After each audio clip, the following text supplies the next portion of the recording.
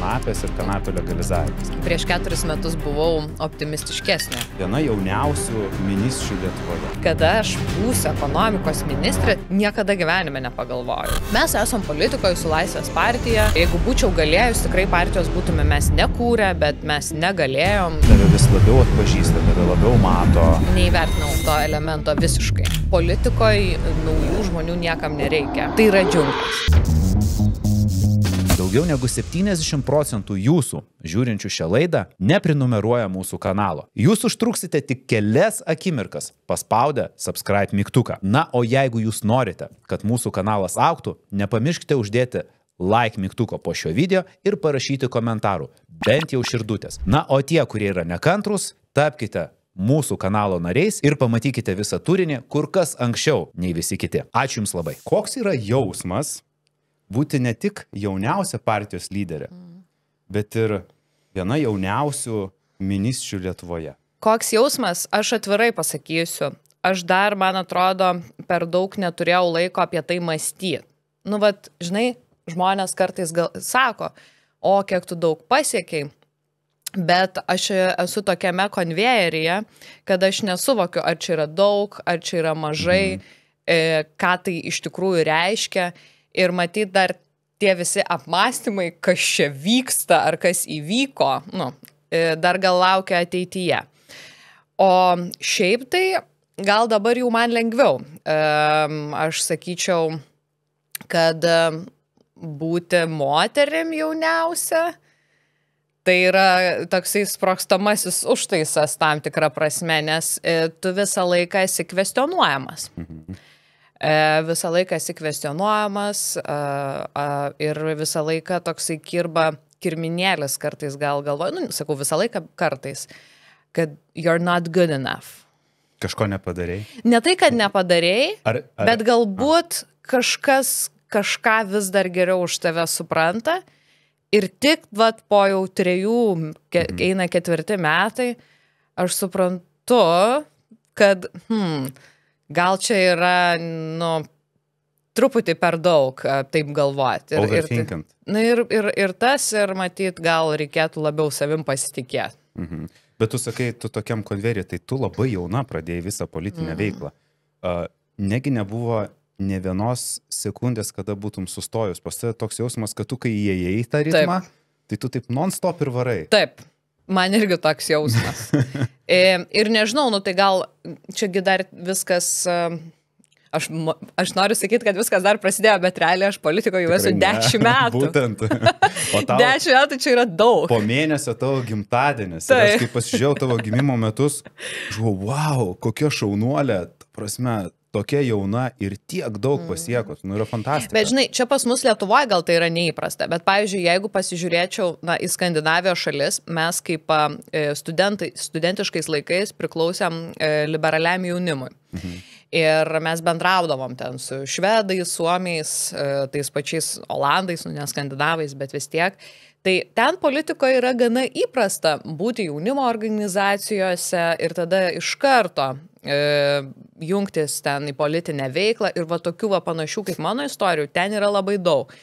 Tai aš sakyčiau, gal pas mus va, tik dabar tas ateina, nes, na, tarkime, ir kitose partijose yra e, žmonių, kuriuos aš pažįstu būtent nuo studentiškų organizacijų laikų ir kurie atėjo, atėjo į politiką. Tai, tai gal gal tai taps irgi, na, tokia kaip ir tam tikra kultūros dalimi. E, nei tai gerai, nei blogai, politikoje šiaip reikia visokių žmonių, bet, e, na, motivuotų e, gal irgi reikia. Bet tu sakai, vat, Skandinavijoje, tenai kaip ir normalu. Pas mus tai nebuvo normalu ir pas mus labai dažnai gali girdėti tiek iš jaunimo, tiek iš tų vyresnių žmonių, jog politikai yra užsisidėję tie, kurie ten mm. nuo 90 kaip sėdi, taip ir mm. sėdi. Ir reikia jaunų. Ateina mm. jauni, bet tuo pačiu mm. Kritiškai vertina jūsų požiūrį, jūsų siūlymus, netgi tie patys uh, Seime esantis vyresni žiūri taip uh, iš toli, iš viršaus, galima sakyti, ne?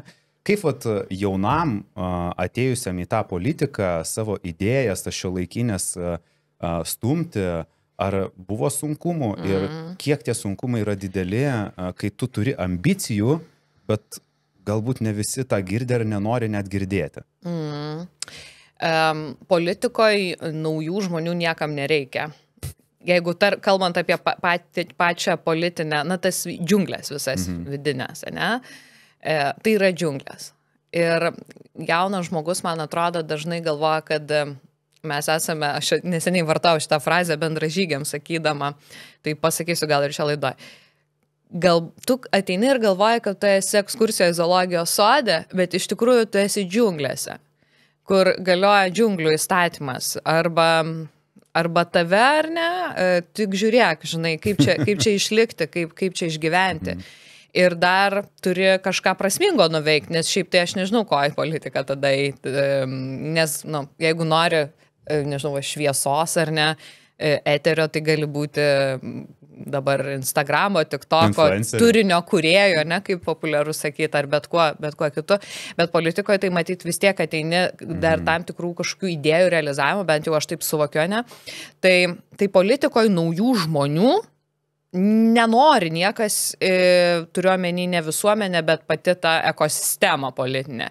Tu esi konkurentas, tu užimi kažkieno vietą, kažkokią nišą. Ir automatiškai dar kai ateini va su tokia neįprasta Lietuvai darbo atverkė, kaip atėjo Laisvės partija, tai tada tu toks esi švis, kaip svetimkūnis tam tikras. Ir, ir Bet svarbu yra, vat, man ir mano vyras pačioj politinės karjeros pradžioj sakydavo, dabar to kažkaip nebesako, bet aš vis tą prisimenu. Labai svarbu suprasti, kad vis dėlto tavo auditorija yra ne tie džiunglių, žinai, žvėris, kuriuos tu kasdien sutinki ir kurie gal, na, tu, vad būtent tenai, kaip sakant, kovoji, tavo auditorija yra tie žmonės, kurie į tave sudėjo viltis, tave išrinko ir taip toliau. Tai tau nebūtina visą laiką, kai tu stovi tribūnoje Seime, ar ne, ir kai išneki, tu matai dalį žmonių, kurie tau nepritarė, kurie tau tiesiai į veidą tiesiog rėkia, nu to tiesiog nesimato kamerose ir panašiai. Tai dalis tų žmonių, kurie rėkia, kurie e, geriausiu atveju purto galvas ir galbūt tave kažkaip vadina, Tai tu ne dėl jų tenėsi, mhm. tu neturi jiems kažkaip įtikti. Ir, e, ir tu turi, na, atstovauti tiems, kas tave rinko, kas va, te, patikėjo, kas nori tų kažkokių idėjų, su kuriuom tu atėjai, ne? Tai, tai va, žmogiškai ta, prie, ta, tam reikia persiprogramuoti. Aha. Ir dar ne visi, man atrodo, persiprogramuoja. Tai uh, aš kaip girdžiu tą tokį norą padėti visuomeniai nuo pat, e, nuo pat jaunystės. Tai gal tu gali papasakot, kas tau buvo svarbiausia visą gyvenimą, tiesiog tavo gyvenime, koks tavo siekis buvo, kad tu pasukai tuo keliu? Mm. Nu, aš tai pasakysiu, žinai, padėti, tu tai pasakai altruistiškai padėti visuomeniai, bet aš kaip liberalė manau, kad nu vis tiek mes kiekvienas turime matyti ir savo kažką toje veikloje, mhm. ar ne, nes iš kur ta motivacijas. Taip. Tai, e, žinai, aš jaučiu, kad aš esu naudinga ir čia ma mano kelias yra ir aš asmeniškai tikiu tais dalykais. Nu, aš noriu, kad būtų, žinai, daugiau Lietuvoje naujovių, atvirumo, e, kad būtų pagarba žmogaus teisėm, progreso ir taip toliau. Tiesiog noriu tokioje šalyje gyventi. Ir, ir e, matyti bet kokioje veikloje, kokioje beveikčiau, ar politinėje, ar ten kokioje žurnalistikoje, ar versle, aš kažkokiu būdu to siekčiau. Um, kalbant apie tą pradžią, tai labai teisingai pasakė, kaip įsisukau, taip, taip dar, dar nesustojau. Ir, ir ta pradžia buvo labai paprasta, aš tiesiog labai buvau aktyvus vaikas. Bet, bet kokioj temoj, tiesą mhm. sakant.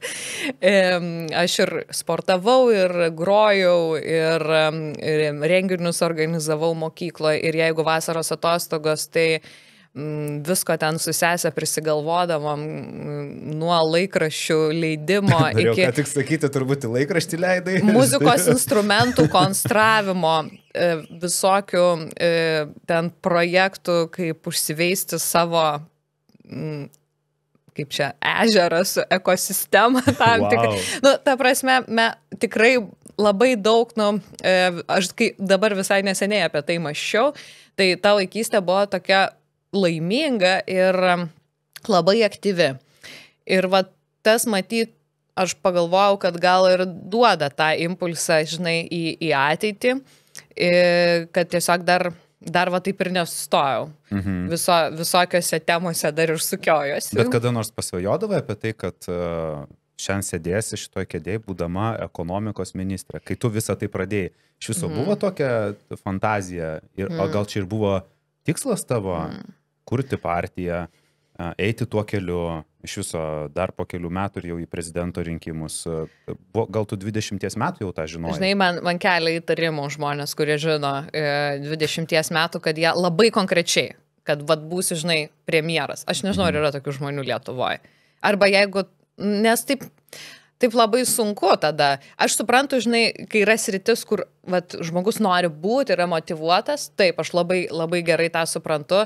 Aš iš tikrųjų galvoju apie, gal ne kiek apie politiką mokykloje, galvojau lab, tikrai apie žurnalistiką mhm. ir galvojau apie tai, kad norėčiau kažkokioje gal tarptautinėje organizacijoje dirbti, dėl to ir studijavau paskui politikos mokslus.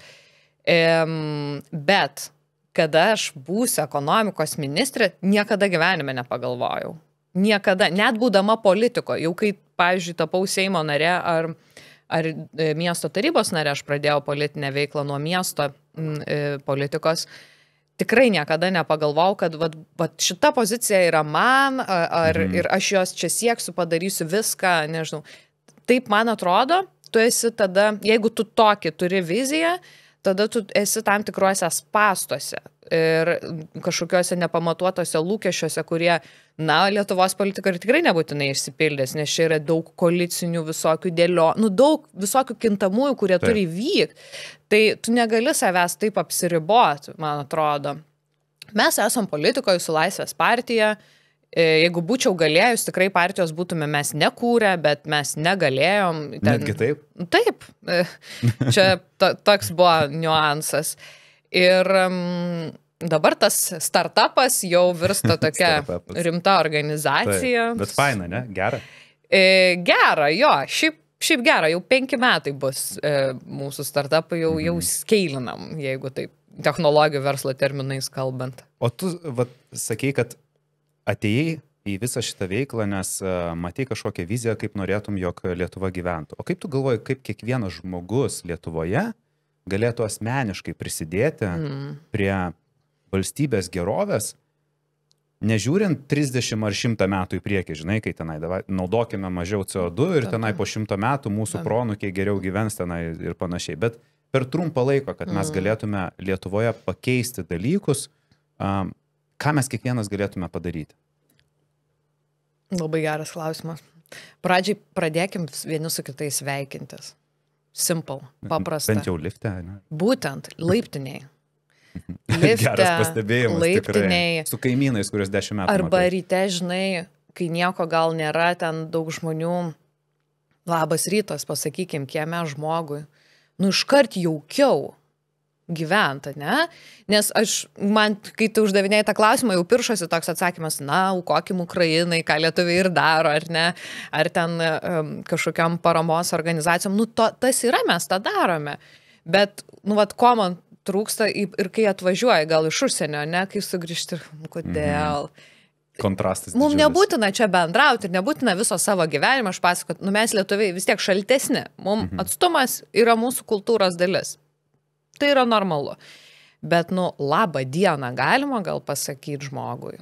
Tu žinai, aš tau turiu pritarti ir aš ką tik mm. prisiminiau prieš porą dienų. Vedžioju šunį ryte, prie katedros einu ir iš po kampo išeinu ir moterį sutinku. Jis mane tai. pasisuka, geros dienos jums ir nuėjo. Ir aš toksai, net pasimečiau, žinai, žmogus tiesiog išlindo iš pokampo ir man geros dienos palinkėjo, aš nusišypsau ir toksai, na, nu, žinai, kokias penkias minutės su gera nuotaika ir galvoju, o tik tiek, tiek tai reikėjo. Daug, tik tiek, ne, tiek nedaug, o tiek daug po, nu, tokios energijos gauni. Įsivaizduoji, kaip mes, mm -hmm. kaip mes kitaip gyventume.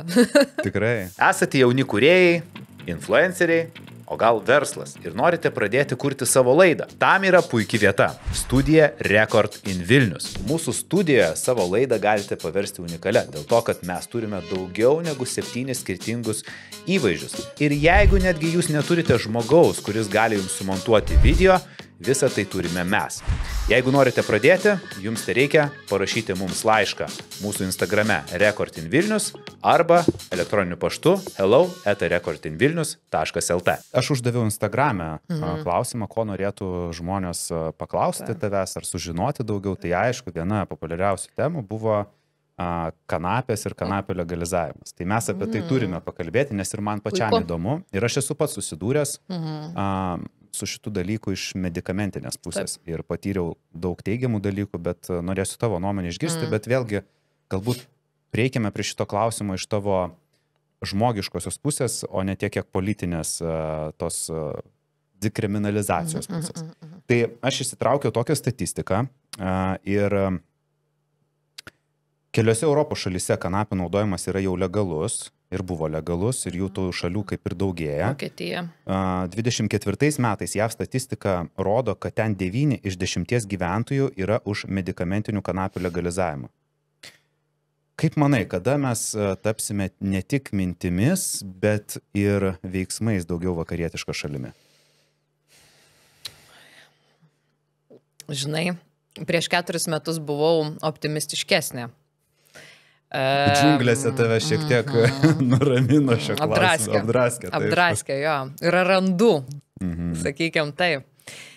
Tai aš galvoju, kad vat, mums Lietuvai dėja visą laiką reikia kažkokio pušo ir pavyzdžių iš, iš užsienio. Nu, mes negalim kažkodėl tai būti pirmi.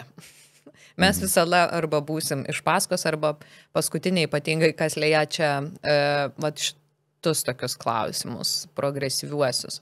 Aš kaip truputį gal dar tokią įžangėlę padarysiu. Aš kaip ministrė, nežinau, čia gal apie ekonomiką neišnekėsim, bet šiaip Lietuva yra na, labai daug pasiekimų padarius paskutinius e, trejus, ketverius metus, tokių, kur Lietuva buvo pirma pasaulyje. Ir aš kartais mastau, nu, vat, mes turim tokią progresyvę darbo atvarkę, kodėl mes negalim va, viso šito atsinešti į tokias rytis, kaip, pavyzdžiui, kanapių reguliavimas, kas beje, iš dalies ir ekonominė darbo atvarkė beje. Mhm. Taigi, um, tai mums reikia, kad kažkokia šalis, pavyzdžiui, Vokietija, ar ne, padarytų reformą ir tada mes sakytume, o, Vokietijoje veikia. Tai dabar kaip tik šiais metais vokiečiai leidžia savo reikmėms, čia ne apie mediciną kalbant, Mhm. Savo apie rekreaciją, savo reikmėms turėti uh, legaliai um, kanapių. Ir gal jeigu ten veiks matyti, nu, tai vis tiek yra arčiau namų, ar ne, ne JAF, ne kažkokie kiti pavyzdžiai. Taip. Ir, ir lietuviai, lietuviai gal matys, kad čia, kad čia nieko baisaus, kad kontroliuojam ir taip toliau. Dabar dėl medicinos, tai mes turime šiek tiek įsiteisin, įsiteisinę ten sintetinių vaistų, dar kažko, bet tikrai ne, ne to, ko vis dar reikėtų, ar ne? Kad net ir, tarkime, tu vis tiek turi aiškinti, kas yra CBD, kas yra THC, kad viena veiklioja medžiaga veikia e, kūną, CBD ar ne, tai yra legalu. Mhm. THC veikia psichiką, bet medicinoje ir medicamentiniam vartojimui to irgi reikia, ypatingai slopinant įvairius šalutinius poveikius, ten chemoterapijos ir panašiai. Tai dabar viskas yra taip sumakaluota, ar ne? Nes yra šita tema, tada yra baudžiakas už kiekio turėjimą nedidelio ar ne, bet tikslo platinti. Ar medicinai, ar rekreacijai nesvarbu. Tada yra mm, vaikų vartojimas e, įvairių medžiagų, ne, ne, ne marihuanos kažko, bet visokių tablečių mokykloje, kuris auga. Ir dabar viskas yra suplakta, sumesta iš šitą puodą ir verda. Ir niekas nenori šitų dalykų atskirti. Ir, ir labai tada sunku, e, sunku viską išaiškinti. Jau dabar mes šnekam, kiek čia, penkias kokias minutės ar ne. Tai ir tai dar, dar visko čia neišsiaiškinam, tik truputį. Tai įsivaizduok, kaip tokioje gyvenant šūkių visuomeniai, šūkių laikais, ne kur antraštė, antraštė, antraštė, niekas nieko neskaito, tik antraštė. Tai vis tiek viską yra labai lengva supaprastinti. A, narkomanai. Mhm. Ir dabar aš tada į va šitą diskusiją su ta antrašte, ne, ateinu ir sakau, žiūrėkit, bet yra medicininiam vartojimui, yra rekreacijai, yra baudžiamasis kodeksas, ir yra e, dekriminalizacija, legalizavimas, kontrolė. Viskas, ta prasme, aš, aš nedalyvauju tome debate, ne? O jeigu mes bandytume paaiškinti būtent kuo skiriasi tas tiesiog vartojimas, kurį mes turime Amsterdame Mhm, mhm. arba ten Ispanijoje, Mhm. toj pačioje Amerikoje, Mhm. nuo to medicamentinio, kad žmonės suvoktų skirtumą. Nu tai, aš, jo. Um, Nes aš taip įsivaizduoju, medicamentinio net bijot nereiktų, juk tai būtų tiesiog... Išrašo gydytojas. Lygiai taip pat kaip tu dabar, Taip. a, nežinau, nu, negali nueiti Xanaxo nusipirkti. Nu, Arba ten kažkokių tai, nežinau, vaistų a, vėžiui taip, taip. gydyti. Tai, e, tai vienas dalykas yra su mediko kontrolė, taip. Ir, nu, čia aš net nežinau, ką aš nekėt. Ir e, sakau, dalis dalykų Lietuvoje jau yra e, kaip ir padaryta, bet, bet, bet dar nepakankamai, kas, kas būtent su medicina susiję. Em, ir em, aišku, tada dar kritikas man sakytų, nu ten, pavyzdžiui, va tie vais, e, būtent em, sintetiniai vaistai, kuriuose yra Mhm, e, tos veikliausios medžiagos. Um, nežinau iš tikrųjų, kaip, kaip, ten tiksliai, aš nesu, nesu ekspertė šitų dalykų um, iš, iš tos cheminės pusės. Tai žodžiu. Bet, e, žinai, kritikas man iš karto sakytų, oi, Amerikoje daug žinau daktarų, kurie vaikšto su receptais ir jos gatvėje siūlo. Tai, bet žiūrėkit, viskas, viskas yra apie kontrolę. Šiuo metu mes neturime. Viskas yra kažkokioj, na, paraštėjai. Yra, tai, kas yra įstatymė, ar ne, ir tada viskas yra kas už įsta- įsta- įstatymo ir mes viso to nekontroliuojame. Mes tą matom, bet mes to nekontroliuojam. Tai šalis, kurios um, leidžia įstatymus ir dėl medicinos, ir dėl rekreacijos. Ir, ir pavyzdžiui, rekreaciją galima ar ne dekriminalizuoti su tikslu, kad, e, žodžiu, bus tai sveikatos politikos, o ne baudžiamosios politikos objektas, kas yra Lietuvoje, o legalizavimas yra kontrolinė. Visa tai yra šiaip apie kontroliavimą kad tu darytum įtaką tam procesui, kad tu galėtum matyti, kas vyksta. Dabar mes tiesiog pasirenkam nežiūrėti net į tą pusę Tiesiog ir sakai, ah, viskas, viskas draudžiama. Vis narkomanai, žinai. Tai, tai va, ir dabar ką, ką daryti, ar ne? Tai aš tikrai ne, neneigiu mūsų politikų atsakomybės ir partijos, kuris sakė, nu, pasisakė už tą kanapės reformą visose plotmėse, net ir pramoninėje, nes yra ir pluoštinių kanapių, tai statybinės medžiagos šiaip gaminamos, Taip. jeigu ką, ne?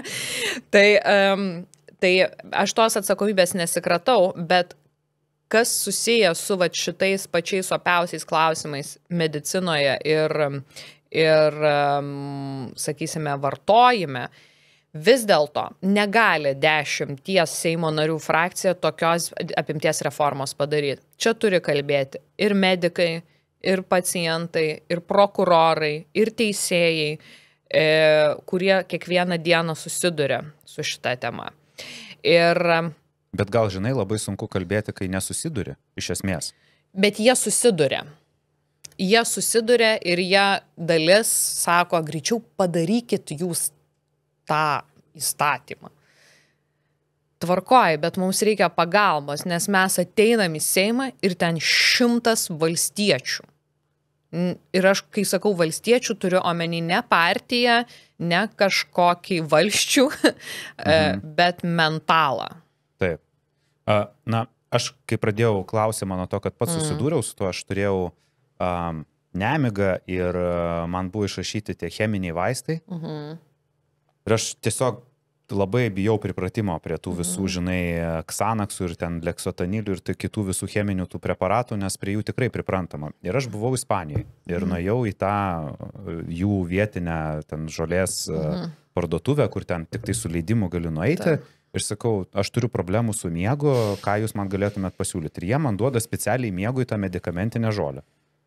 Aš ją parūkiau ir tu supranti, aš nieko nejaučiu. Mhm. Prasme, nu niekas nepasikeitė. Mhm. Bet aš tik nuo sofos keltis ir aš jaučiu, aš taip miego noriu, žinok, aš galvą padėjau, užmigau, aš kitą rytą atsikėliau, atrodo, Šviežias. kad uh, aš taip vaikystėje tik miegojęs buvau. Ir tu supranti, aš ne tai, kad aš ten kiekvieną kartą, bet aš taip vieną, antrą kartą ir man susitvarkė. Mhm. Ir aš galvoju, ir be jokio pripratimo, ir nėra to ryte tokio vaistinio krešo, žinai, kur būna po tų visų medicamentinių dalykų, tu ryte atsikeli ir vis tiek toks apdujas vaikštai, nes tie vaistai dar vis veikia. O čia visai kitaip organizmas reaguoja. Tuo pačiu Amerikoje turi nemažai draugų, kurie gyvena ten ir a, turi sveikatos problemų, ten stuburo skausmų, visko, jiem duoda tos medicamentinius a, preparatus. a, būtent žolės pagrindu ir jie puikiai jaučiasi ir organizmas visai kitaip reaguoja. Ir aš galvoju, kodėl mes taip, taip negalime mm. greičiau eiti į tą Mm. O mes turime bėgti iš paskos. Mm. Ir kaip tu galvoji, vat, kaip visuomenė pasikeistų, na, nes kiek žinau, jūs irgi keliate klausimą su psichologiniais dalykais mm -hmm. jūsų partija. Psichosveikata. Taip. Kaip, kaip tu galvoji, visuomenė pasikeistų, jeigu tai tas medikamentinis naudojimas būtų legalizuotas ir, pavyzdžiui, dalis tų visų cheminių preparatų būtų pakeisti kanapių preparatais? Tai net nebūtų, nu, kanapių, čia mes kalbam apie kanapės, ne, tai, bet apskritai gal to natūralaus, ne, produkto, taip. natūralaus produkto norisi. Aš, aišku, čia gal koks vienas kitas medikas pakeltų antakį mūsų klausant, nes yra skeptikų. E, todėl, kad aš irgi, e, kai pradedu ko nors ir tai visų pirma gydausi kažkokiam žolelėm ar, ar kažkuo, tai dar ne, ne, ne chemija. E, nu, tiesiog mes matytų, vis tiek mes lietuviai šiaip esame labai arti gamtos. Man dėl to vat, patinka mūsų šalis ir vat, tas gyvenimo būdas, kad nu, mes arti, mes pas mus vat, vis dar yra, mm, nu, žinai, kiekvienas tikriausiai lietuvis yra grybavęs miške, ne? Nu, nežinau. Žu- grybautojas, bet tikrai grybavo. Nu, Tai. nu, ta prasme, gal kažkur vis tiek, jeigu ne dabar, tai vaikystėje kažkas vis tiek Tikrai bus taip. nusitempęs į tą mi- mišką, gal tėvai, gal seneliai, gal kas. Ir, ir tada, žinai, e, kai mes esame nuo arti gamtos, nesinori, kad mes taip kažkaip nuo jos nutoltume. Ir e, kalbant apie tą kanapę, tai kanapė kaip augalas šiaip Lietuvoje turi gerą reputaciją per, per amžius. E, Jeigu net pasižiūrėtume, aš kai prasidėjau domėti šitą temą, jeigu pasižiūrėtume tarpukariu, tai ir Vilniaus universitete, na, aišku, Lenkijai priklausė e, Vilnius, bet buvo visokie biotehnologijų tyrimai, kurie yra susiję su kanapėm. Kaune lygiai tas pats e, vyko, ta prasme, mokslas, medicinos mokslas.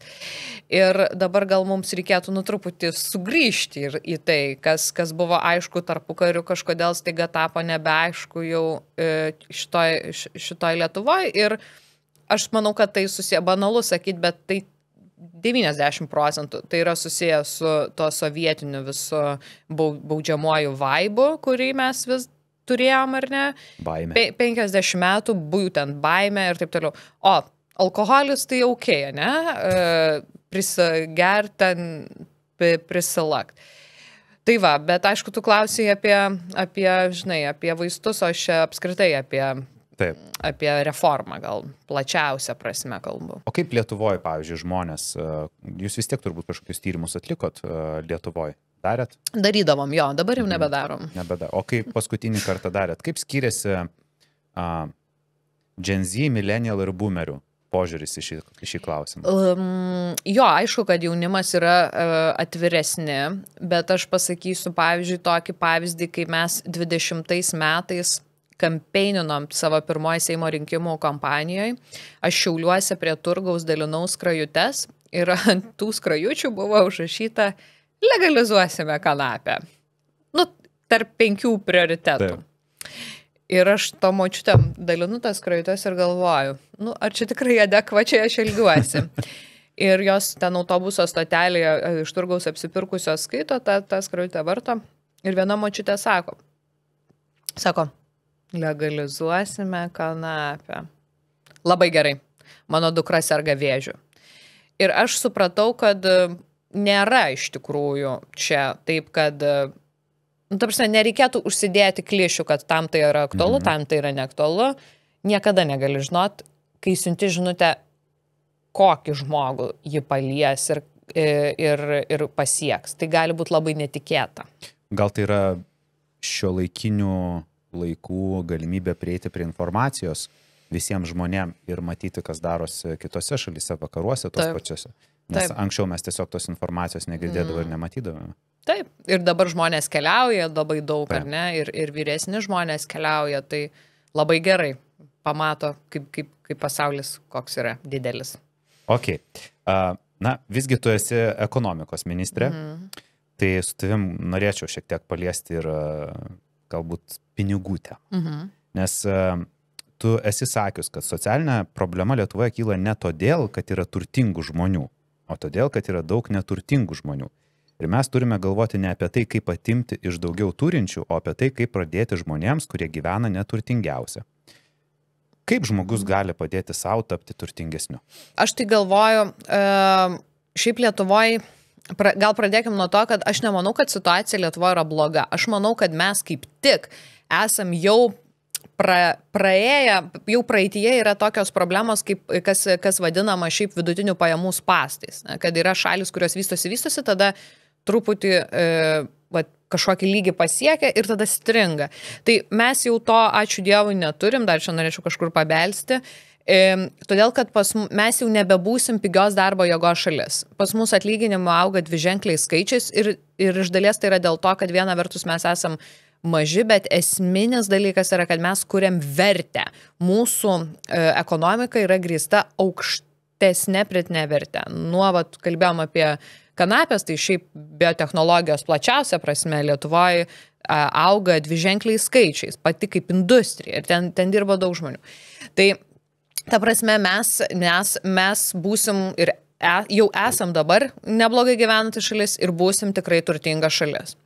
Dabar bus žmonių visada ir kiekvienoje visuomenėje yra, kurie, žinai, yra e, blogiausioje padėtyje, kurie galbūt ne, dėl įvairių priežasčių, dėl savo gal praeities, dėl e, situacijos ar ne, dėl galbūt skirtingą galę turinčių žmonių, kurie, kurie gyvens ekonomiškai prašiau ir, ir, ir tai bus. Dėl to tam ir egzistuoja valstybė su savo mechanizmais įvairiais.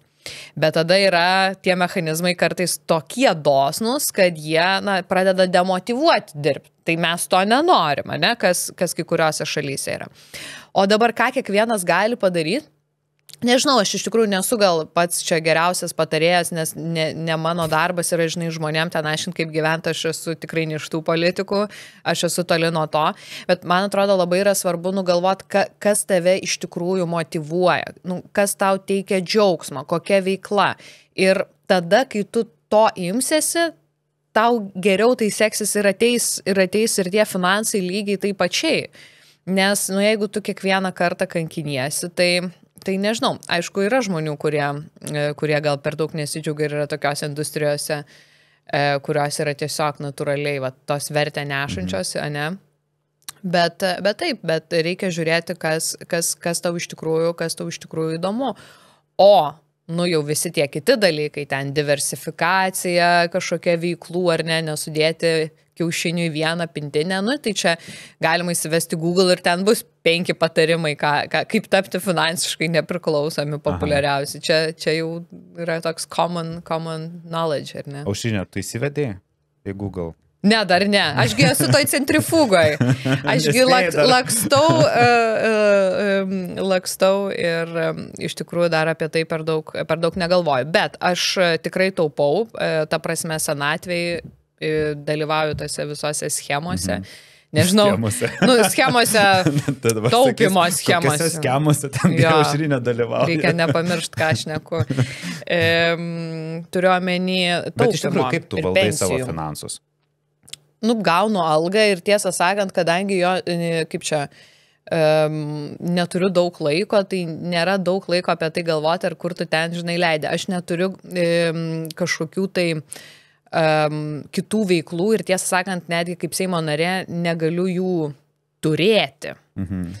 Tai, tai tos pajamos yra mano tik tai iš, tik tai iš atlyginimo. Bet aš dar prieš gal septynerius metus priemiau tą sprendimą, kad ok, nežinau, kaip mano gyvenimas uh, eis, aš turėčiau investuoti periodiškai į va, tą sena, senatvės schemą, trečią e, e, pakopą e, ir, ir taupyti, žinai, ir dar gal į keletą tokių va, periodinių investavimo e, programų, kur po nedaug, mhm. bet kažkaip ne, nesukis savo galvos, nuskaičiuoja nuo sąskaitos, aš tam neturiu investavimo į laiko kažkokiam ten aktyviam, kur, kur, kur, kur sėkia. Tai Tai va, tai, ši, tai šitaip darau, daugiau, daugiau per daug, um, daugiau per daug kažkaip uh, nėra, nėra tam laiko. Tai iš esmės, ką tu darai, tai tu gauni atlyginimą, tam tikrą dalį iš karto investuoji, o iš likusių pinigų gyveni. Ar Taip. dar ir taupai juodai dienai kažkokiai? Nes, nesusitaupo man. Nesusitaupo. Ne. Taigi, taigi švarkus reikia pirkti. Tai tikrai taip. Dešimt metų, žinai, neišnešiosi to paties. Visokius spalvotus. Taip, painė, kad ryškiai rengėsi, iš tikrųjų. O kaip, pavyzdžiui, su vyru jūs šeimoje tuo klausimu sutarėt? Ar, pavyzdžiui, vyras yra labiau taupesnis, daugiau už finansus, ar pas jūs yra grinai kažkaip tai. Mes dabar esam tokia centrifugoje būdu, kur yra tiesiog darbas ir tu ten per daug ne, ne, nesustoji ir nepagalvoji, okei, okay, okei, okay, kaip čia dabar toliau. Nu tai vad, mhm. tokie kai kurie paprasti dalykai taupimo, nu žinai, kaip aš čia sakyčiau tokia visiška hygiena. E, tai, tai jie yra padaryti, nu o dabar dar, dar dirbam, siekiam karjeros. Tai tu jau sakai, kad tai yra hygiena. Bet mm. mes e, šiaip pat Lietuvoje, kaip tu galvoji, kokia yra situacija su finansiniu raštingumu, nes dar vis yra žmonių ir tikrai didelė dauguma žmonių, mm. kurie klausia klausimo, ar investuoti, mm. ar atsidėti. Neklausia, taip, kur taip, ir kaip, taip, taip. o tik tai užduoda klausimą, ar. Tai tuo tarpu tavo pasakyta Skandinavija pačioj pradžioj ten jau klausimas yra kur ir kur geriau. Taip, ir aš dar galvoju, Lietuvoje yra va toks mitas ir čia susiję gal su prieš tai tavo buvusiu klausimu.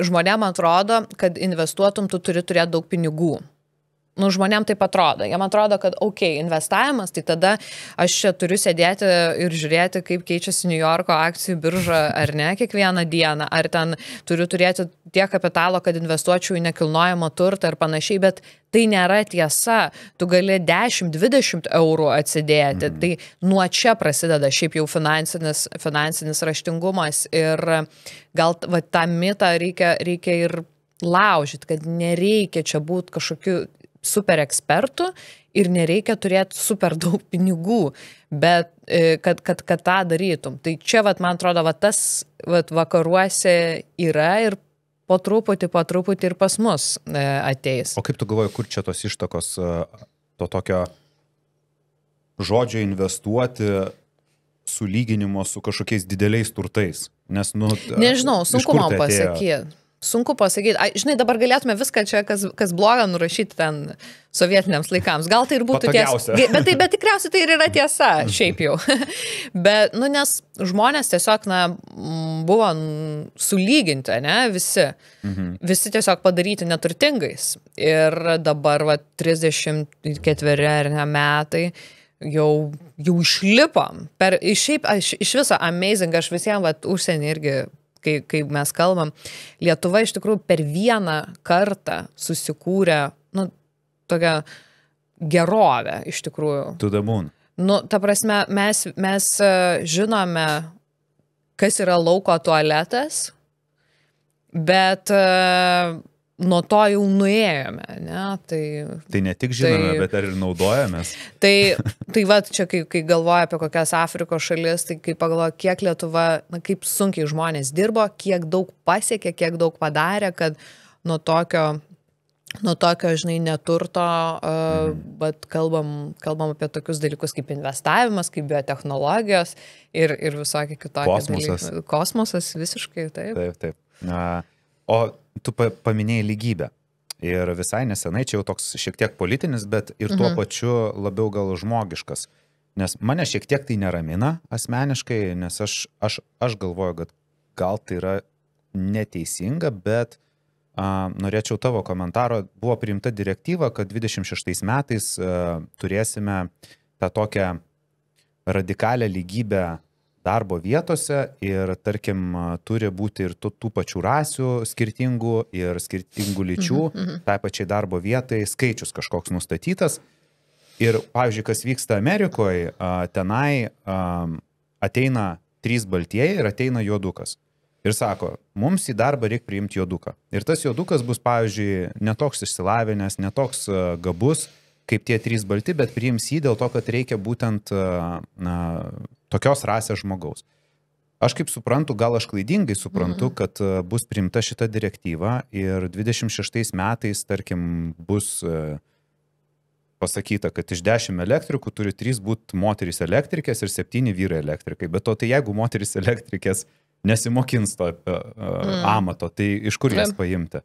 Ar ims biliai, kad paimti moterį, nes tai parašyta mm. įstatymą? Čia, nu, tokie geri klausimai, čia labai ir politiški, ir, ir, ir, ir taip toliau, bet um, svarbus uh, klausimai. Aš pasakysiu, kaip aš tą matau. Aš nenorėčiau būti paskirtai kažkokias pareigas vien dėl to, kad aš esu moteris. Man atrodo, tai yra žiauriai nefeministiška. Mhm. Uh, Nu, vat kaip tu pateikė tą pavyzdį, ar ne? Tai e, jeigu ateitų ten trys vyrai į kažkokias pareigas ir aš, ar ne, ir, nu gerai, ateik, užrinę. Aš taip nenorėčiau, aš norėčiau, kad mane paskirtų į kažkokias pareigas dėl to, kad aš turiu kompetencijų ir, ir motivacijos ir, ir kvalifikaciją ir taip toliau. Tai va, tas, va, kai kalbėjai apie tas kvotas, žinai, tai, tai um, jos um, jų, jų va, ta visa sistema truputį nuima fokusą nuo kompetencijos.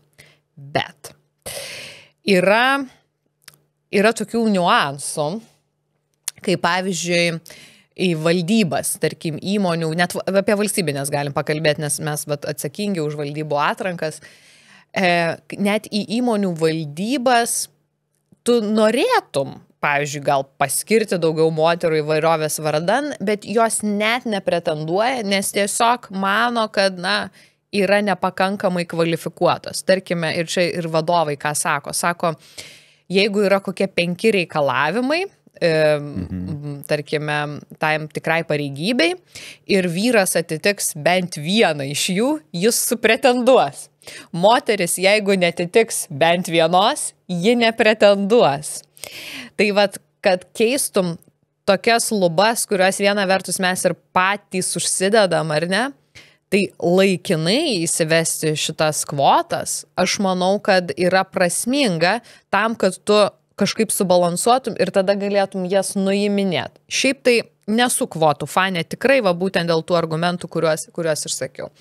Kalbant apie na, kitus pagrindus, ten tarkime, dėl, dėl, dėl rasės ir taip toliau, na, pas mus to nėra, bet Junktinės Amerikos valstijas galima suprasti, nes e, iš tikrųjų e, ta diskriminacija jinai buvo net, nu, amžiais, dešimtmečiais, nu, taip, ta prasme. Įsišaknys labai. Dešimtmečiais. Stipriai. Ir dabar va tas yra pralaužta ir, ir tikrai, tikrai keičiasi. Ir aš manau, manau, kad tai yra gerai, bet žinoma, kad pagrindinis dalykas turi būti kompetencija ir tiesą sakant, nebus taip, kad ten kad priiminės nekompetentingą žmogų. Tu rasi, rasi kompetitingų žmonių, svarbu, kad jie matytų, jog jie yra welcome, kaip sakant, aplikuoti, dalyvauti, mhm. kandidatuoti ir, ir kad būtų tada tau iš ko rinktis. Bet kai tu dabar sakai tą pavyzdį, tai tu ir sakai apie valdybą, apie tos mhm. tokius intelektualius darbus, mhm. kur tikėtina, kad taip, skirtingų lyčių gali būti vienodas e, skaičius e, pretenduojančių. Bet jeigu kalbėtume apie fizinį darbą, negi tai bus taikomos tos kvotos ir darbą. Oi, nežinau, darbui. aš tiesą sakant nelabai žinau, į kurią tu direktyvą e, referuoji, ar ten Europos parlamento, ar, ar kokią. Manau, kad tikrai ten sveiko, pro, nu, proportingų, procingų, kaip čia, protingumo, proporcingumo kriterijai mhm. ten nu, turi būti palikti. Ir um, jo, bet čia, žinai, tu tokią temą palėtėjai daug, aš čia galiu šnekėti um, apie, apie tas visas, um, apie tą lygybės aspektą, nes, nu, va, elektrikai ar ten inžinieriai yra, kai tokios vyriškos natūraliai profesijos, nes tiesiog vyrai daugiau jas renkasi. Bet kodėl jie jas renkasi? E, neseniai praeitą savaitę, pirmadienį, kaip tik e, pas mane ministerijoje e, trumpam buvo atėjusios mergaičių robotikos komanda, pirmoji mhm. mergaičių robotikos komanda moksleivių. Mačiau stories, kažkokį robotą ten rodė tau. Taip, taip, jos laimėjo Italijoje tris apdovanojimus tarptautiniam konkursė. Visiškai, visiškai šaunuolės. Ir aš šiaip labai nustebau, nu, kai paklausiau, nu, kažkaip net neklausiau iš kalbos, tai išėjo, nes aš tiesą sakant to nesitikėjau. Uh, um, jos sakė, kad tai, kad yra mergaičių robotikos komanda, jos susidūrė su tokiu požiūriu, kad, nu, sėkmytės. Mhm. Kad tai nėra, nėra mergaitiškas, e, kaip čia, mhm. vat, laukas. Ir, ir aš galvoju, taigi negali tai būti. 2024 metai, negi taip yra mokykloje Lietuvoje. Ir pasirodo kažkiek, kažkiek yra. Tai vad, jeigu mes tokius barjerus nuversim, žinai, tai gal ir daugiau ir merginų galvos, na, kodėl aš negaliu, žinai, čia instaliuoti elektros. Na, žinai, dar prieš kokius turbūt 20 metų buvo labai keista matyti uh, fūros vairuotoją merginą.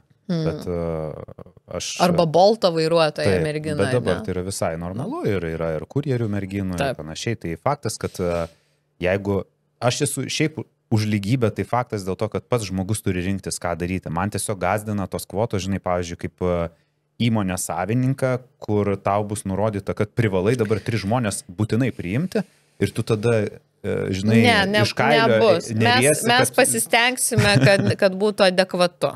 Kad, kad žinai, kad tas tikslas viena vertus būtų išpildytas, bet kad tu kaip vadovas, nu, kad tu turėtum laisvę samdyti, kad tau reikia. O kaip tu apibrieštum laimės sampratą savo šeiminiam gyvenime? Hmm, labai sunkus klausimai. Čia politiniai klausimai daug lengvesni yra. O štai dabar. Jos, žinai, lukštent, lukštent, lukštent. Laimė samprata, nežinau. Um, man atrodo, mes žmonės visi norim šiaip labai panašių dalykų, nesvarbu, kur gyvenam ir kas esam. Mes norim, kad mus palaikytų, kad mus mylėtų ar ne, mes patys mylim. Ir um, norisi, žinai, uh, kažkam pasiguos, kai sunki diena, ar, ar to vat, kažkokio palaikymo turėti. Ir, ir tas, man atrodo, yra visiems svarbu. E, tai man irgi, kaip ir tikriausiai daugam, va tokie dalykai yra svarbus. Jeigu tu tą turi, tada, tada tu esi laimingas. O kiek jūs mes, metų esat kartu? E, daug. Nuo, net tiesą sakant, nežinau. nu, šiaip nuo, nuo studentiškų laikų. Oho. Jo, mes kartu. Kiek krizių išgyvenate? Tai jo, tai čia yra toks, žinai, jau kelionė. Ir tiesą sakant, mes, nu, mes visą laiką buvom kartu ir vat, kaip, kaip kažkaip vat, nutarėm, kad, okei, okay, aš sėkiu karjeros, bet ir, ir jam reikia iššūkių. Ir tada va ta Afrika atsirado. Tada tada vat, pasikeičia dalykai, nes kai tu visą laiką esi kartu, paskui ateina COVID ir tu negali skraidyti, ne, negali matytis, tai visai kitaip yra ir to vienišumogi atsiranda, kurio gal seniau niekada, mhm. niekada nebuvo.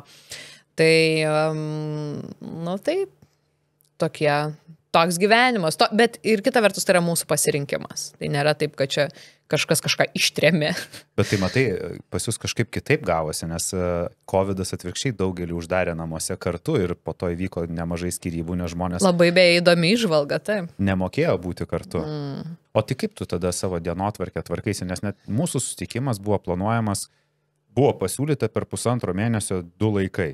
Tai aš įsivaizduoju, tavo dienotvarkė kaip ministrės Seimo narės yra labai užpildyta ir suplanuota į priekį ar tu ir savo asmeninį gyvenimą, laisvalaikį planuoji lygiai taip pat, ar asmeninis gyvenimas ir laisvalaikis lieka maždaug, jeigu liks laiko po darbo, tai it's fine.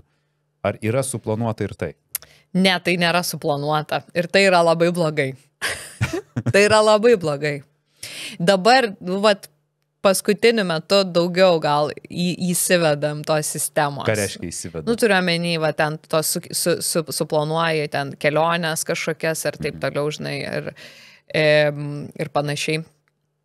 Bet jo, aš tiesiog noriu pasakyti, kad mano šitas gyvenimo etapas yra toks, kad yra labai sunku kažką, e, kažką, na, kaip čia, nedarbinio um, įsidėta, nes aš turiu labai daug pareigų šitam gyvenimo etape, aš esu partijos pirmininkė, aš esu ekonomikos ministrė, yra rinkiminiai metai ir, ir, ir Seimo narė dar be to, ar ne? Tai tiesiog, kai man sako, nu, nu, e, tai kai man, žinai, sako, o tai tu po darbo būsi, tai aš nežinau, kas yra po darbo, ta prasme, nes savaitgaliai irgi dalis būna veiklų, kurios galėtum savęs paklausti, ar čia darbas, ar čia laisvalaikis, kas tai yra. Nu, tai yra susipinę dalykai. Bendravimas su žmonėm, kažkokiuose renginiuose dalyvavimas ir panašiai. Tai juk nėra sėdėjimas mhm. biure, žinai. Tai, tai viskas yra labai labai susipinę, bet man tai ir patinka gal net, kad, kad yra susipinę ir, ir nereikia čia, žinai, to um, čia skūstis kažką. O ką reiškia susipinę? Tai tu ir vyrai traukitas veiklas? Uh kai tu kažką... Dabar tai... mažiau, nu dabar taip natūraliai gaunasi dėl to, kad, kad jisai keliauja, tai uh, to mažiau gaunasi, bet taip, iš tikrųjų mūsų, mūsų laisvalaikyje bendravime mes daug kalbam ir apie politiką ir aptarinėjom, kaip čia geriau elgtis mm. ir panašiai. Ir, kaip fainai. Nu, taip, nu, mes esam draugai. Um, ir, ir tas yra, žinai, man atrodo, labai nu, didelė dovana kad, kad, kad aš tą turiu. Žinai, kodėl klausiu, nes tikrai nemažai žmonių, kuomet uh, supina darbą ir santykius, įvyksta skirybos dėl to, kad atrodo, nu jau nieko nelieka asmeniško, ta prasme, viskas apie tą patį. Nu, ir, nu, o tu pasakoji atvirkščiai, kad jūs... Nu, bet vis taip, žinai, ta prasme, būna dalykų, kai, kai, kai nu, pavyzdžiui, jisai nėra, ne politika, jam, bet labai labai domisi politika. Ir jisai sako, nu, papasakok, žinai, kaip, kaip kas ten vyko. Ir aš taip, ne, plys, tai yra paskutinis dalykas, apie kurį aš noriu šnekėti. Nenori kartotis. Tai jau. žinoma, kad būna akimirkų, kai aš visiškai nenoriu mm. kalbėti apie darbą. E, bet tai, nu, pakalbė ten, gal nepakalbė, kartais visai būna. Tai kaip jūsų atrodo idealus uh, laisvalaikis be darbo? Kuomet, Mes... kuomet tu sakai viskas, that's it, daugiau aš nebekalbu apie darbą, veikiam kažką. Žinok, mes žiauriai skirtingi visiškai skirtingi. Bet e, tiesiog va, pabuvimas kartu, kažkokių bendrų planų, e, turėjimas svajonių e, ir taip toliau. Aš galėčiau, žinai, idealiai skambėtų, jeigu, žinai, mes atsikeliam ir einam pasivaikščiot, pabėgiot ar ten kažką. Ne, mes taip nedarom, nes mes esame labai labai skirtingi žmonės. Ir aš gal čia nedetalizuosiu, bet nu, mūsų kitoks tas valkas. Mes net, pavyzdžiui, net filmus labai skirtingus žiūri. Atskiruosi kambariuose. Nu, ne, iš tikrųjų, žinai, kaip yra. Um, reik, nu, reikia įdėti pastangų, kad rastum bendrą filmą. Tai čia iš tų atvejų, kai Netflix įsijungia ir valandą laiko Taip. ieškai filmo Taip. ir po to pažiūri. Taip. Ah, viskas, laikas miegoti. Ta, yra tas atvejas.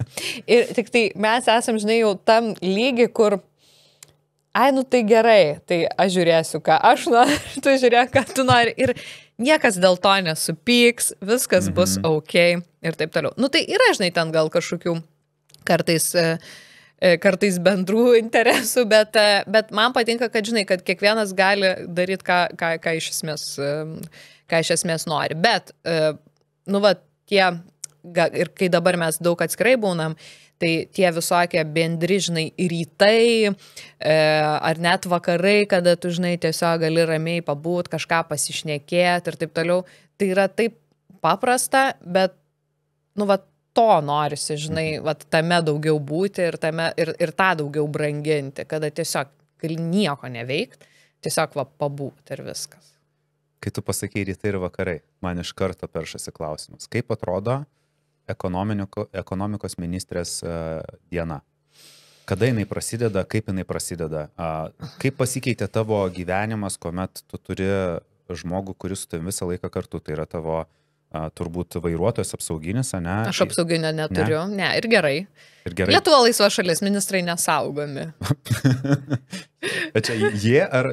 Gal jie, sakyčiau, dabar viskas gerai. Žinai, okay. bu, nu, gerai, ten per COVID ir tos visus dalykus buvo dienų, kai, kai buvo paskirta apsauga.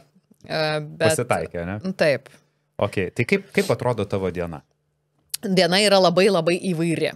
E, jinai ir, ir šiaip, nu, tokia intensyvoka, nes e, aš žinau, kad tai yra blogai, bet aš vis tiek pradedu dieną ir nuo socialinių tinklų, ir nuo žiniasklaidos. Aš tą bandau šiaip šiuo metu keisti. Kilintą valandą kėdėsi? Žinai, e, apie šiaip septintą, bet e, nu, kartais ten pat praeitą savaitę sakiau viskas, mes, aš kelsiuosi anksčiau, kelsiuosi vat penktą, kad turėčiau tą dvi, dviejų valandų tarpą savo savo reikmėms. Ok, pirmą savaitę praėjo, antrą savaitę aš nebegaliu tą daryti. Mhm.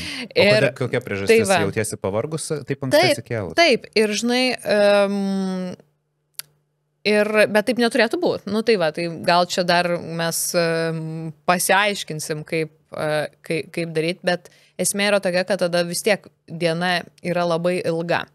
Ir kodėl jinai yra ilga. Aš tiesiog turiu gana daug renginių ir susitikimų, kuriuose aš turiu pati daug performint. Ta prasme, aš šneku arba ten diskutuoju, jeigu yra kažkokie investuotojai, aš turiu prisitaikyti prie jų, prie to susitikimo temos.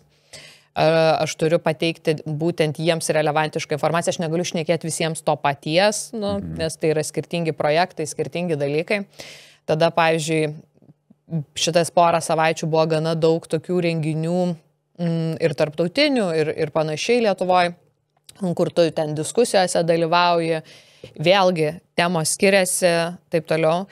Ir kada tu visą laiką šneki ir esi, nu, po rampų šviesa, tu turi nenusišnekėti, tu turi pasakyti esmę ir tai yra skirtingos temos ir tu turi nu, vis, nu, dar ir vis tiek plius minus normaliai atrodyti. Tai ir tada vakare dar vyksta koks nors irgi ar susitikimas, ar renginys, ar online mytas ir panašiai. Tai ne apie kokį čia dar laisvalaikį vakare kalbam.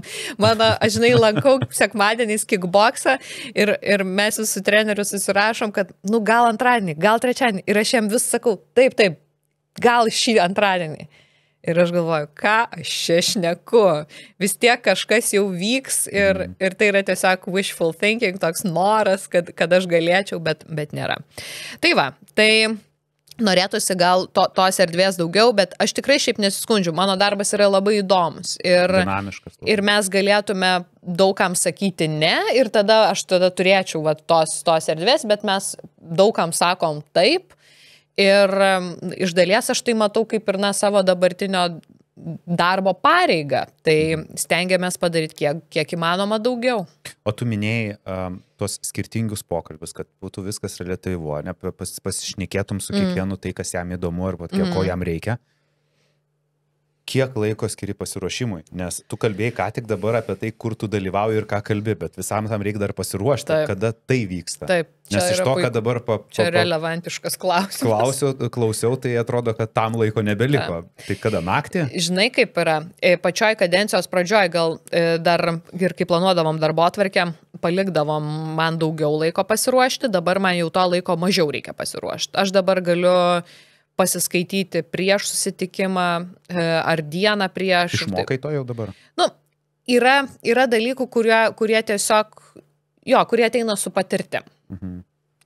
Nuskaitimas situacijos, žinai, kai kurių dalykų, dar taip pat kadencijos pradžioje, pavyzdžiui, reikėdavo įeiti, yra kai kurios detalės, kurių aš gal nežinojau, neįdama tų pareigų. Dabar aš kaip atsakinga, žinai, už šitą sritį daugiau negu tris metus, aš žinau visas detalės. Nu, ta prasme, aš žinau darbą savo ir žinau, ką noriu pasiekti tų susitikimų metu. Ir, ir kažkokių ten šieno ravėjimo susitikimų mes, mes ir neturim. Nu, tokių e, beprasmių dalykų. Tai, tai, e, tai dabar man reikia daug mažiau laiko tam ruoštis. Bet taip reikia, būna tikrai, nu, prisėdi ir sekmadienį, ir, ir vakarais, nu, kaip, kaip kada. E, kaip kada pagal, pagal situaciją, seniau gal taip metodiškiau planuodavome mes tuos, tuos pasiruošimus, tiesiog laikas dokumentų skaitimui, mm. darbas su dokumentais, kaip čia visi šaiposi, ne? Bet, nu, nu, tu turi skaityti, nu, tu negali neskaitęs ateiti. Aš suprantu, tai mm. tiesiog iš to, ką klausau, tai, wow, atrodo tikrai, kad kada tu pailsi, nes išeina taip, kad turi dalyvauti, ruoštis, pamiegoti, dalyvauti. Taip, ir tada dar, žinai, va, tada klausim, o tai koks tavo laisvalaikis? Norėtum kažką atsakyti, bet nelabai gali. nu, bet va, turiu kažkiek to no, laisvalaikio. Lankau kickboxą ir labai patinka. Skrolinė social media rytais? Taip, bet ten daugiau darbas. Net ir čia darbas. Čia darbas. Um... Ar tu pasižiūri kitus žmonės, kokia tu esi socialinės medijos vartotoja? Ta iš darbo pusės, ar vis dėlto užeini kokius reelsus pasižiūri? Aš iš... žiūri reelsus. Žiūriu, žiūriu. Ten Žiūriu, pasijuokia iš ko nors. Taip, žinau. Ten iš tų šuniukų, ten dar Taip. kažką. Taip, būna laiko. Va tam laiko yra, žinai. Bet ten įsipina, žinai. va. Dabar, dabar galėčiau paskraulinti. Ta įsip- jo, tam visą laiką laiko. Ne, ir šiaip, žinai, va, aš vis tiek dieną dar pradedu, stengiuosi, nu, aš turiu tokį įprotį, gal taip sakysiu, su muzika e, aš pradedu dieną. Aš, aš teliko nejungiu ir taip toliau, e, įsijungiu kartais radiją iš tikrųjų, nu, kad žinočiau, e, ko, ko, kas dabar čia diskutuojama, žinai. Bet, bet šiaip, šiaip aš įpratus esu nuo vaikystės, nuo paauglystės, kad mano diena prasideda su muzika ir šiaip baigėsi su muzika. Ir kartais aš net jei- jeigu ten tingiu jungti, žinai, kolonėlę namuose ir, ir panašiai, tai aš va tiesiog per telefoną pasileidžiu kažką. Ir tai mane tikrai nuramina ir, ir nuteikia, nuteikia visai, visai kitaip. Ir tas gali būti bet, bet kas, ta prasme, aš labai įvairią muziką klausau nuo e, ten šio laikinės, žinai, iki, iki, iki visokios kitokios, iki įvairių. Reivo. O kodėl? Nu, Reivo gal ryte neklausau, iš tikrųjų. Aktyvus arba labai užsiemę žmonės skundžiasi dažnai, kad jie neturi laiko pavalgyti. Mhm. Ir mytyba tai yra tas dalykas, kuris, na, jų dienotvarkiai tiesiog yra padrikas. Kaip pas tavęs su tuo? Taip. Ar tu susiplanavus, ar jūs turit kažkokius tai savo jau numatytus laikus, kada tu valgai ir pas tave dienotvarkiai rašyta, pavyzdžiui, pusryčiai, tu būtinai juos turi pavalgyti, vakarienę, pietus kažkur tai. Ar čia jau kaip Dievas duos? Yra darbo atvarkėje toks, kaip čia savo komandai esu tokį reikalavimą numačius, kad nu, numatytų pietų e, laiką. Mhm. Tai gali nebūtinai būti 12 valanda, tai gali būti 1 valanda, gali būti, nežinau, antra visai būna. Būna kartais tas laikas paukojamas, aišku, bet, e, bet šiaip iš esmės e, pavalgymui laikas yra numatytas ir aš, kadangi neturiu laiko gaminti, šiaip nemoku ir neskaniai gaminu, priešingai nei mano vyras, tai um, aš Ką reiškia dabar... neskaniai, tu tau vyras yra pasakęs? Ne, man pačiai Aušinė, neskanu. nu tu ir neskaniai gamini. Man Geriau pačiai neskanu, kai Ai, aš pačiai nes- pasigaminu. Taip. O gal vyrui skanu? Ne. Ne, ne. Tai, nu, ne, jisai gal mandagus, bet manau, kad ne, nu jeigu man neskanu. Tu, kai pradėjai savo veiklą, vis tiek tu buvai mažiau matom. Mhm. Ir su laiku, su tavo įvairiom, sakyčiau, tokiom ideologijom, ne, kaip tu sakai, atnešiai visai kitus vėjus į tą patį Seimą, tapai Mhm. ministrė, labiau matoma, per, per karantiną dėl tam tikrų dalykų net apsaugos reikėjo. Kaip tas jausmas keitėsi tavyje, kuomet tave vis labiau atpažįsta, tave labiau mato? Mm, ar tu vis dar tai matai, ar tu jau to iš vis nebematai? Ar tau tai kėlė kažkurio metu nerimą, galbūt mm. gal šiek tiek norėjosi slėptis nuo žmonių, ar atvirkščiai tu visą laiką buvai ta, kuri norėjai, kad tave matytų ir tiesiog nuo to pasikrauni? Jo, aš nelabai vertinau e, tą važinomumo Neįvertinai. Neįvertinau to elemento visiškai. Nes iš tikrųjų, kai aš buvau Seime e, pirmą kadenciją opozicijoje, tai mane pažinojo žmonės gatviai, bet tai nebuvo taip, kai, kaip tai tapo vat, nuo, nuo, nuo, kai mes suformavom koaliciją nuo 20 metų, kur Žinai, kaip žmonės galvoja, kad jie tyliai kalba, bet, bet tu viską vis tiek girdi, žinai, ten praeina kažkas. Armonaitė. Ir čia ta, čia ta. Tai, e, tai žodžiu, tai yra to atpažįstamumo. Mm, Ir Kaip, nu, nežinau, visai būna. Kartais ten nueini į kokį koncertą ir vis tiek tie žmonės, kurie lankosi panašiuose koncertuose kaip tu, nu, yra bendraminčiai. Tai gal tokia aplinka yra, yra gerai, bet e, visai būna. Čia galiu tokių pavyzdžių pateikti, gal bus įdomiau, žinai. E, Seniau jau, gal prieš pusantrų metų, gal dar seniau, greitas laikas bėga, buvau įskė toj parduotuvėje. Kaž, kažko ten man reikėjo. Ir aš praeidinėjau. Ir eina moteris su vyru ir man taip moteris tiesiai į veidą. Gėda.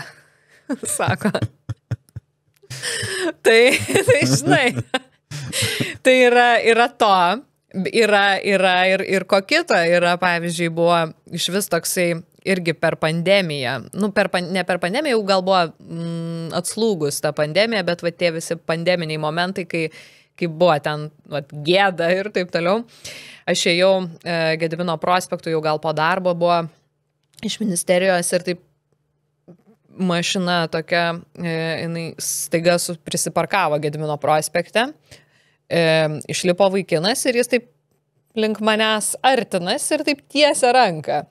Ir, nu, natūraliai, tu žmogus, nu, atsitraukin, galvo, o, okei, okay, kas čia bus. Mhm. Ir jisai paėmė mano ranką, atsiklaupė, pabučiavo ir pasakė ačiū.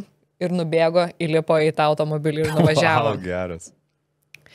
Tai, žinai, E, bet mes vis tiek žmonės kartais prisimenam tą gėdą, e, tau, nu, įsimena labiau, bet tokių, pavyzdžiui, atvejų, mhm. nu, va, čia vienas iš gal tokių neįprastesnių, bet tokių, žinai, gerai varai ten, ar, ar, ar, ar kažką gerai darot, nu, labai irgi ret. yra. Bet labai ret. Žinok, yra. Ar dažniau?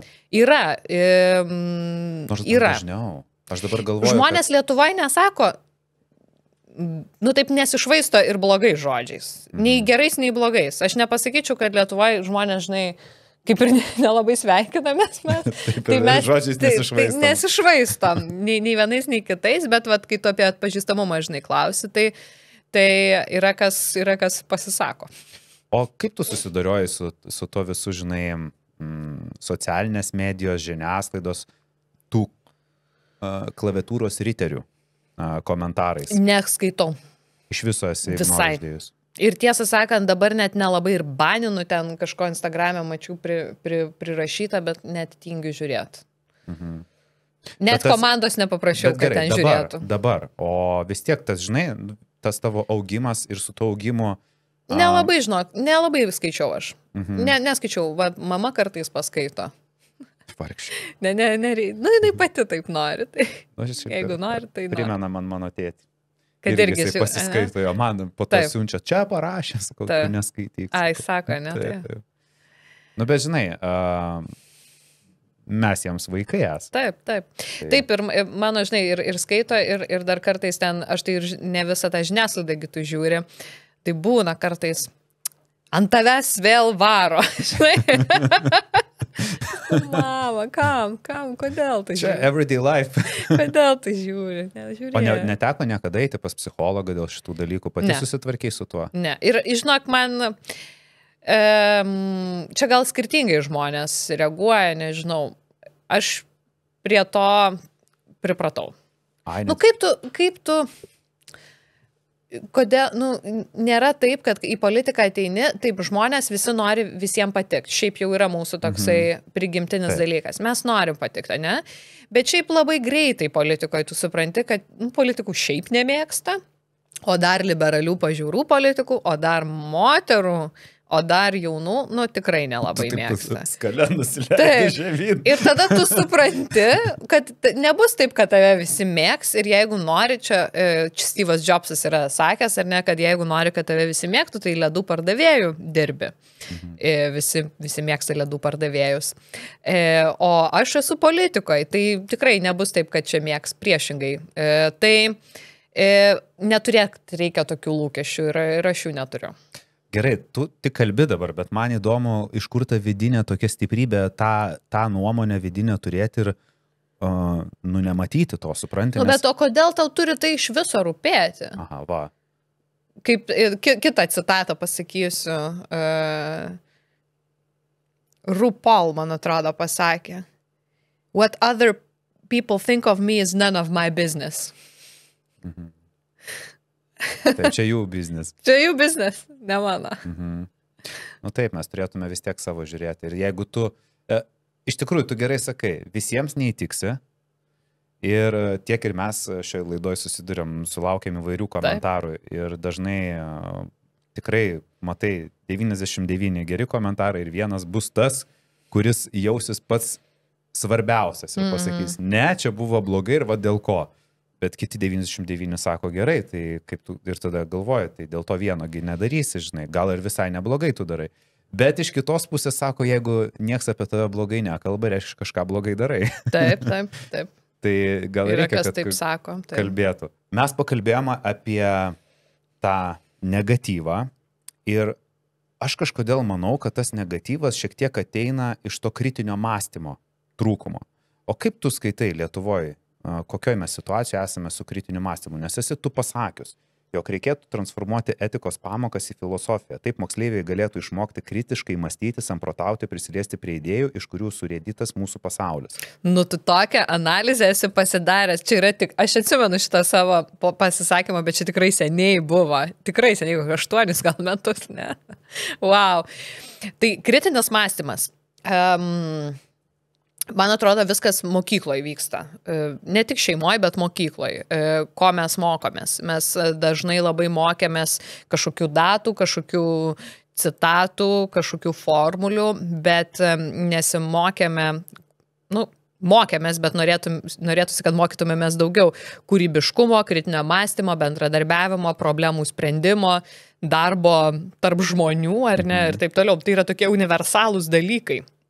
Ir nesvarbu, keičiasi technologijos, ne dabar keisis darbo specifika, šitos savybių visada reikės. Ar tu esi inžinierius, ar tu esi influenceris, ar tu esi, nežinau, mokytojas, vi- visų šitų savybių visada reikės, jos yra universalios. Galbūt dar bus taip, kad tu keisi profesijas. Iš pradžių būsi mokytojas, paskui būsi influenceris, paskui būsi, nežinau, um, lazerių gamybos specialistas, inžinierius. Na, ta prasme, žmonės e, greičiau, mobiliau keliaus per profesijas ir kvalifikuosis. Ir tada va tų tokių pamatinių savybių jų, jų, labiau, jų labiau reikia. E, jos, yra, jos tampa esminės, tiesą sakant. Tai kritinis mąstymas e, yra truputį kas kita negu kritika. kritinis mąstymas yra, žinai, na, mm, ir turėti savo nuomonę, ir turėti argumentus, kodėl tu ją turi.